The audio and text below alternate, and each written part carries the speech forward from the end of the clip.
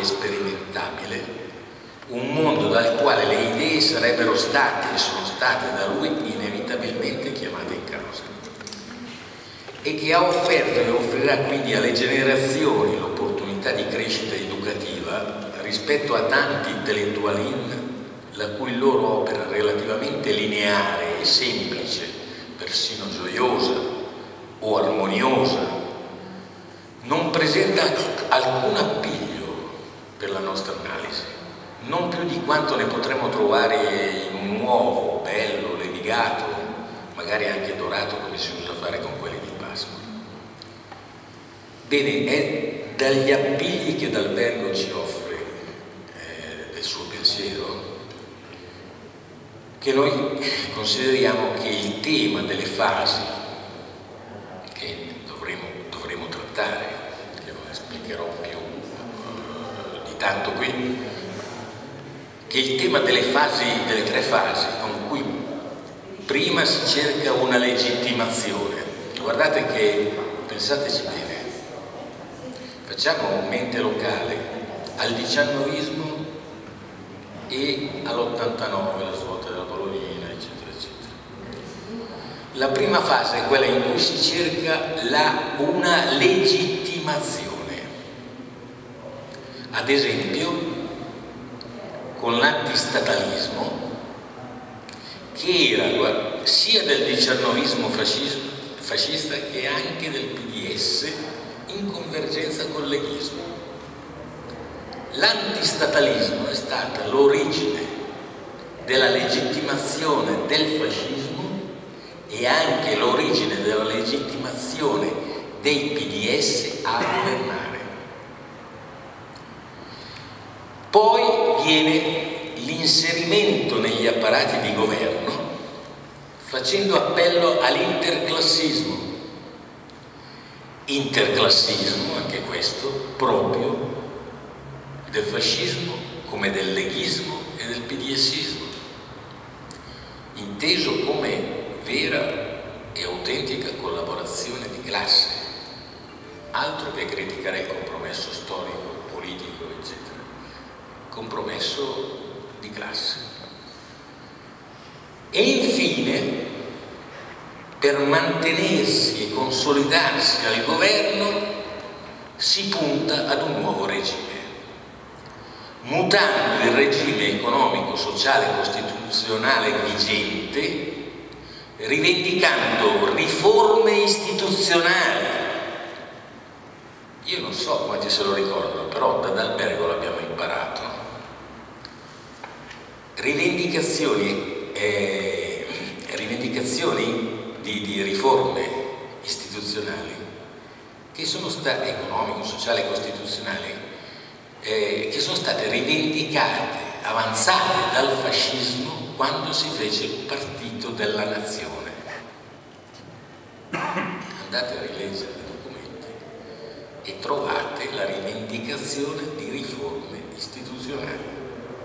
Tramite, però, tramite la cosiddetta Costituzione materiale o quella che Dorsi ha chiamato rovescismo e che D'Albergo chiamava il ripensamento arretramento, di cui la forma teorica del ripensamento arretramento è la governabilità.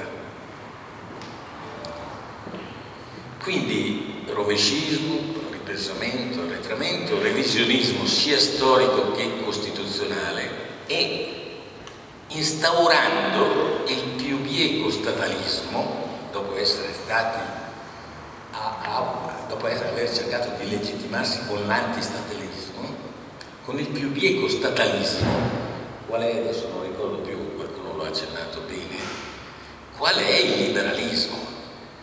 La più grande mistificazione, imbroglio che è stata fatta in questi ultimi 40 anni è stato quello, dimenticando persino la storia, beh, d'altra parte hanno detto che la storia non bisogna cancellarla persino dalla memoria, no? che significa cancellare la funzione dell'uomo, no? se non sbaglio, non sbaglio, qual è la funzione dell'uomo se non la memoria? trasmissione del sapere. Quindi hanno cancellato la storia, per cui hanno dimenticato che cosa è stato il liberalismo innanzitutto dai suoi albori, che è statalismo. Nasce, cresce, si sviluppa grazie alle leggi statali. Pensate soltanto al Dazio, tanto per dirne una. Ma pensate cosa diceva Gramsci sui parlamenti maggioritari, eccetera, intesi come trade unions del, della borghesia.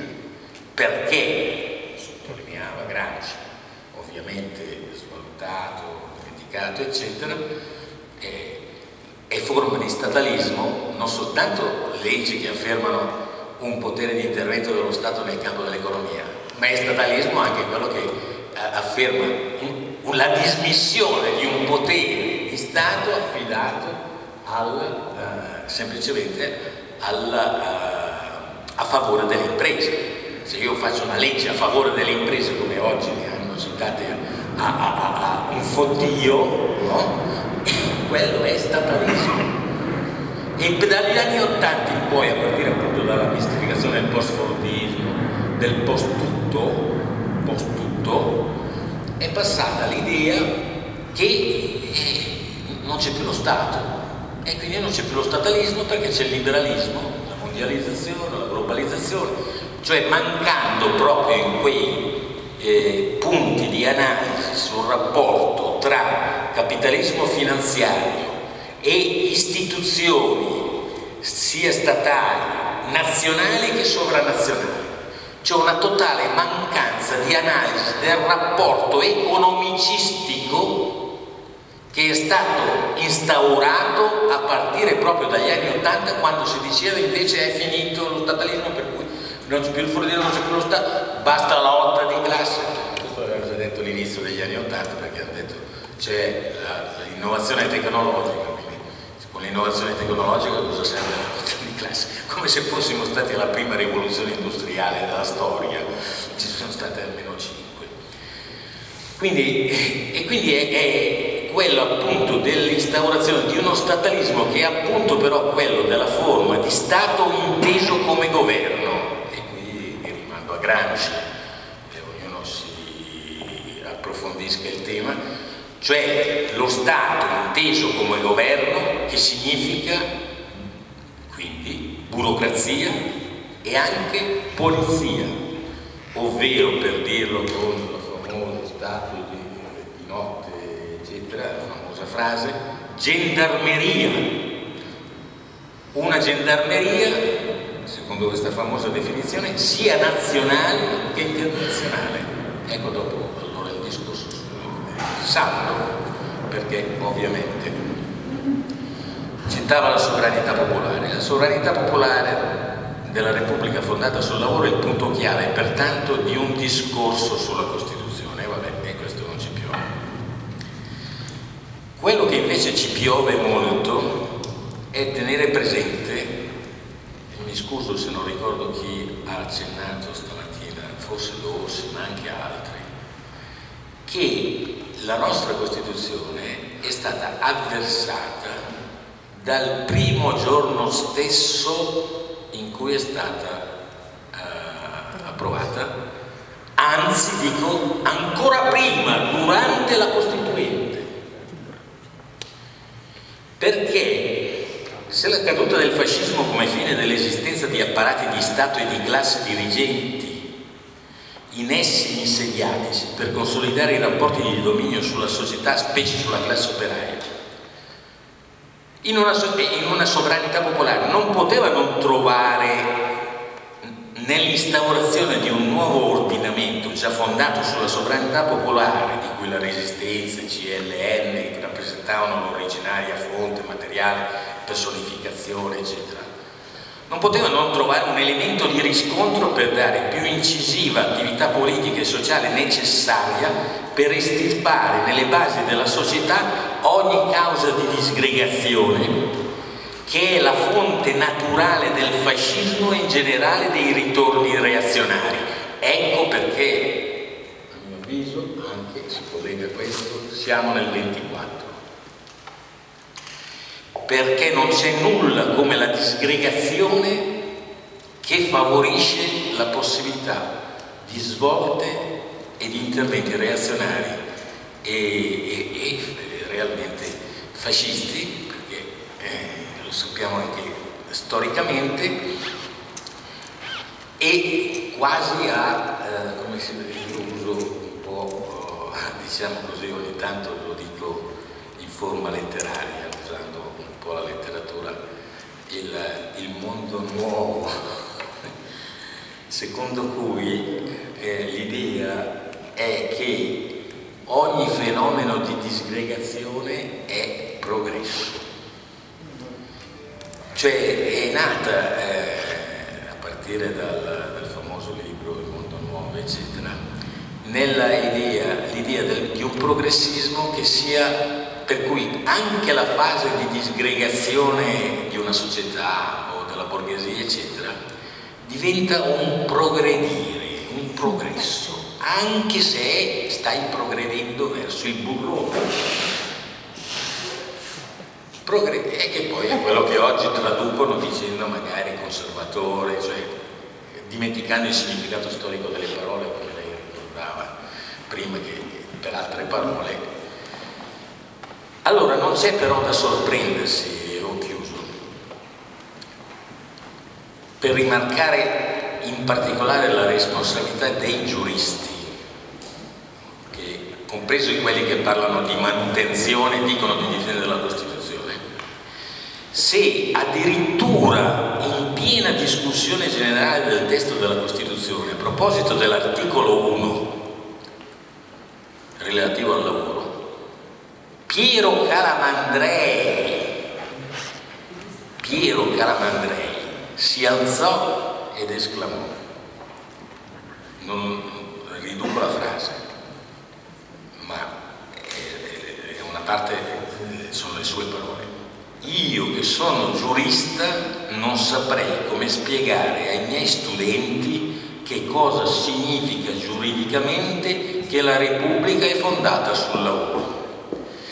Quindi come si vede si tratta di un vizio di fondo e fin dalle origini che coinvolge i giuristi in particolare persino nel momento in cui ad essi è commesso un compito di cui nessuno negherebbe la natura politica come è quello di fare la Costituzione, perché non c'è niente di più politico di una Costituzione, contro tutti quelli che pensano che si tratta di fare giuridicismo. Quindi fare una Costituzione è fare la cosa più politica che ci possa essere ovvero creare una rappresentanza e di rappresentare una, for una, forza politica che assieme ad altre, tutte democratiche, tutte antifasciste, unite in uno sforzo comune per dare basi nuove allo sviluppo dei rapporti sociali e politici, sia rispetto allo Stato prefascista che contro il fascismo annidiato, qualcuno parlava di continuità stamattina, annidiato in tante strutture economiche, amministrative e anche politiche, non già per scrivere norme rispondenti ad esigenze della cosiddetta tecnica giuridica. Ora, banale ricordare che non c'era tecnicismo giuridico nello Statuto Albertino e tuttavia durò a lungo. La Costituzione di Weimar, che qualcuno prende ancora oggi il coraggio di prendere a modello, la Costituzione di Weimar invece era il prodotto del tecnicismo giuridico più raffinato e non durò che dieci anni. E senza nemmeno essere un modello di tecnica legislativa. Quindi il vizio dei giuristi e delle forze concordanti con essi è un vizio antico e contestativo della Costituzione fin dalle sue origini. Ho chiuso? Sicché, dico, le implicazioni del raccordo fra valori dell'antifascismo e politica di attuazione, e per questo mi dispiace che non abbia potuto ricollegarmi a, ad Orsi, dell'antifascismo politico e di attuazione delle riforme necessarie per estirpare le basi reali e ideologiche del fascismo è stata rifiutata fin dall'inizio in nome di una concezione dell'antifascismo artificiosamente rivolta a superare la contrapposizione tra fascismo e democrazia. Si, ci si è tesi e poi eh, avete sentito stamattina l'intervento di come ha fatto tutto questo eh, excursus no? su come hanno cercato appunto di eh, superare la contrapposizione tra fascismo e democrazia per una pacificazione necessaria ma che se anche come appunto nell'idea di Togliatti iniziale fosse era e fosse e sia necessaria come allora non perciò poteva essere o può essere elusiva della natura dei problemi proposti per conto della democrazia dalle forze consapevoli che un serio antifascismo non dovesse consistere, ecco l'idea togliattiana, nella persecuzione, ma piuttosto nell'incisività di un indirizzo politico capace di sradicare il seme della reazione antisociale con un testo come la nostra Costituzione. Bravo.